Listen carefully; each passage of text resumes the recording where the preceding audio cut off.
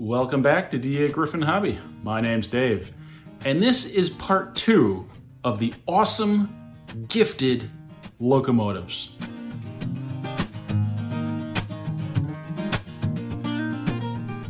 So before we get into the other locomotive, the first one, of course, being the Frisco 4100 Mikado, I want to show you the buildings that he gave me. Uh, this one's a Lionel set, water tower. That looks pretty good. I like that. I do really hope to be able to put some buildings on this layout soon. Not sure the brand on this one, but a little switch tower. It's a good looking little tower.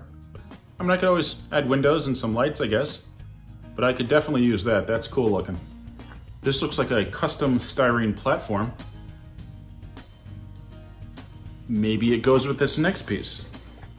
The Lionel station. I guess I have two of these stations now, because Nick from Nick's Crossing gave me one. And he had uh, the Christmas lights dangled across the front and the back.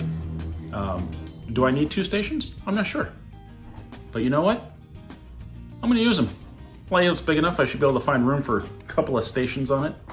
So that's pretty cool. I mean, like, the engines weren't enough. You had to go and give me the caboose and these buildings. I gotta make some progress on this uh, landscaping and uh, get some buildings set up. You know what? I, I think we've waited long enough.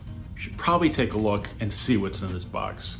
This engine is from, if I remember correctly, 1989. And it features a highly detailed die-cast metal construction of both the engine and tender. Smoking stack and steam chest, operating headlight, operating backup light, electronic rail sounds remotely activated by standard Lionel transformer, switch for whistle or bell activation, powerful Pullmor motor, spoked drivers with metal rims, metal handrails on the engine and tender, remote controlled forward, neutral, and reverse, opening boiler front, metal wheels, operating die-cast metal knuckle coupler on the tender, Tender features six-wheel die-cast trucks, detailed coal load, and authentic Reading markings.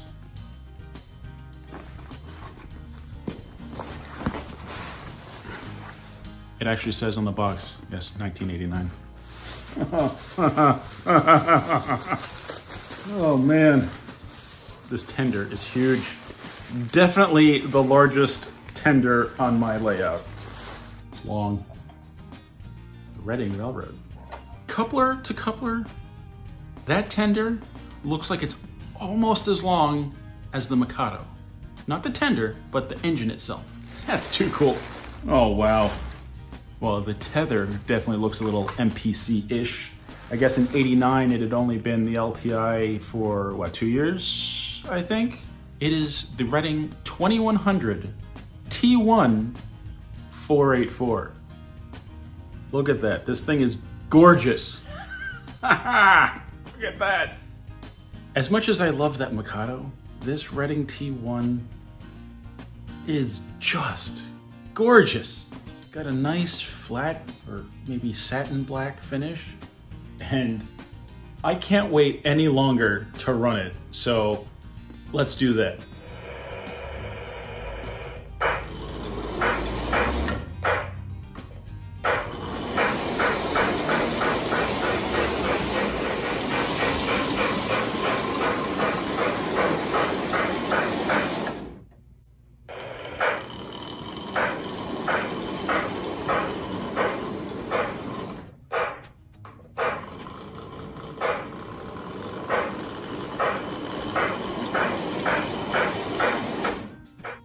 Just awesome.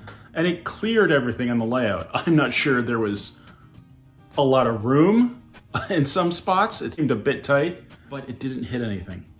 And that's that's always good. But then part of the benefit of the foam is if it scrapes anywhere, I can just cut away at the foam and it will be fine.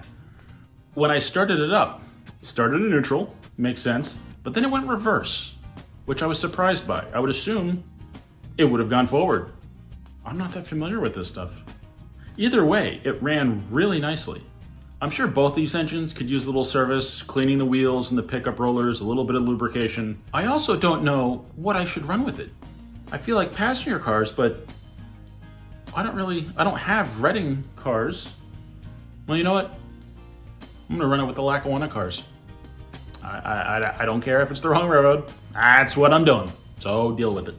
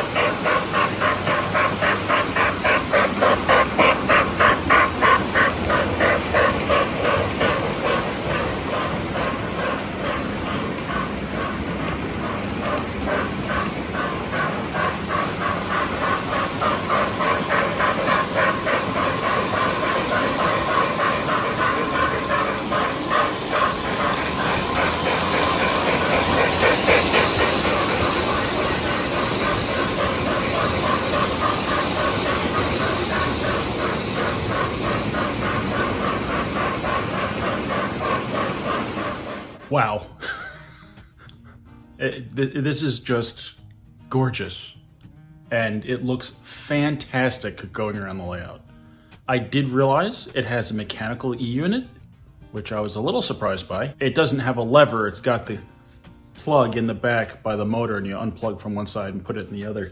Uh, but that's fine. Uh, I guess I was expecting an electronic reversing unit, but doesn't really matter. Uh, kind of encourages me to open it up and clean it all out. I guess if it's got the older style motor and the E-unit, it probably needs a service. When I'm comfortable enough with it to take it apart, right now I'd be afraid to scratch it. Uh, when I'm ready, I'll open it up and give it a service.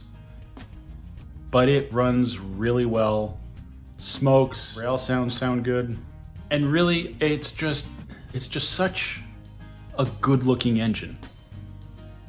So instead of talking about it, let's just look at some pictures and watch the thing go.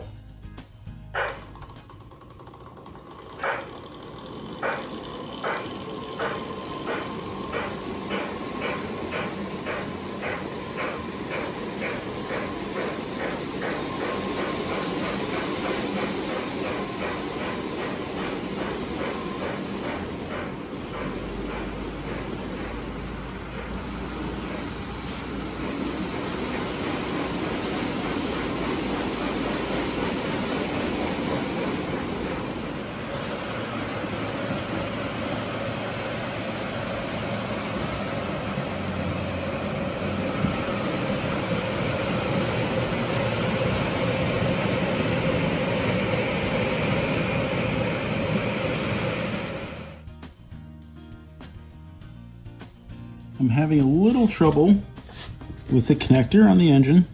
I don't know if it's routed improperly, but it seems to keep getting pulled. And some of these pins are loose. And one of them, the wire just came right out of the pin. I'm going to push the wire through, pull it out the other end. I'm going to try to shove it back into the pin here.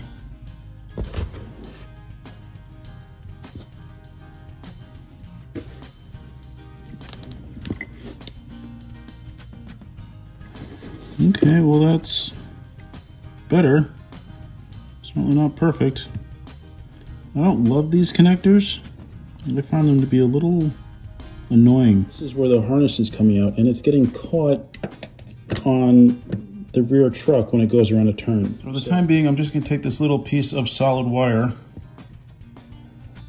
kind of coil it. Made a little hook to hold onto the railing here and to keep this up and away from the truck. Uh, so we'll see if that works and then I'll do something a little more permanent later on. At the moment it seems good, but it will depend on whether or not it gets caught between the engine and tender as it's going around because there's very little clearance. And what alerted me to this was that it came around this turn over here and that got wedged between the two and popped the engine up off the rail. So the last thing I need is the thing derailing and falling because of that connector.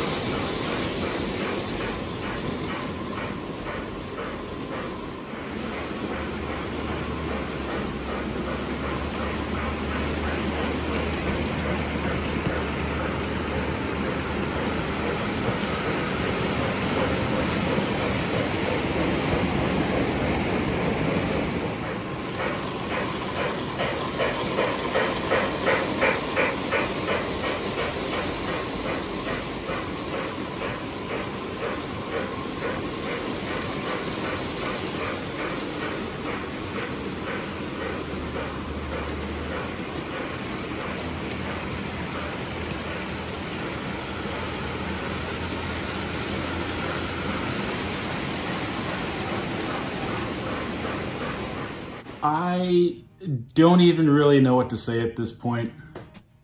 I'm just really, really enjoying these engines. Uh, the Reading T1 is just impressive. I guess between the two of them, it has the older technology. It's got the Pullmor motor, it's got a mechanical E-unit. The, the Mikado runs smoother. Uh, not smoking as much. It is smoking a little bit, but not a lot. So I don't know if the smoke unit got damaged at some point or if it's just gonna take a while and it'll start producing. I don't know. The T1 is smoking like a dream and running fantastic. And now that I pulled that harness up a little bit uh, away from the rear truck, it's not causing any issues. I, I, guess I'm a little partial to it because of the old technology. Uh, the motor that I know how to service, the E-unit that I know how to service, it's still within my realm of understanding. Uh, the Mikado, on the other hand, if there's something wrong with that, I'm gonna need to reach out to one of you because I don't think I'd know what to do with it. But they are both amazing. I really can't express adequately my gratitude for the gentleman that gifted these two engines to me and these other buildings and whatnot. I mean, it's just, uh, it's just amazing. And I'm gonna continue enjoying these and maybe I'll do videos at some point uh, showing them in a little more detail, but I just can't focus that much right now. I just wanna watch them run. And uh, that's what I'm gonna do. I'm gonna watch them go. I guess now I know what I'm looking for at York, and that would be a set of passenger cars to go with the T1. So once again, thank you for gifting me these items. And thank you to all of you who continue to watch and enjoy the channel. I really, truly appreciate each and every one of you. Thank you very much for watching. Please remember to like, comment, subscribe, and I'll see you next time on Dagryffyn Hobby.